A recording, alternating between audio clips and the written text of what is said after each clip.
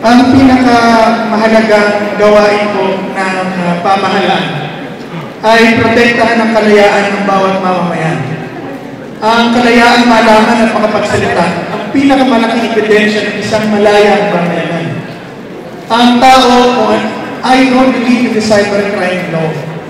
Talagang nandiyan ang kasalanan, pero nasa kamay ng mga magulang at simbahan, ituro ang tamang gawain at bantayan ang sa loob ng bahay.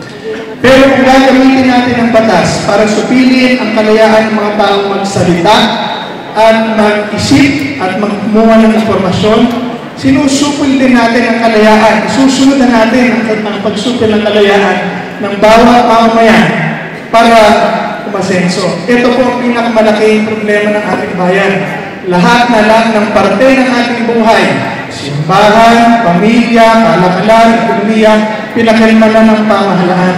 Ang kailangan po natin i-regulate at bawasan ang kapangyarihan. Pamahalaan, hindi pamilya, simbahan, at ekonomiya. Yan po ang take ko sa cybercrime law. Scratch out.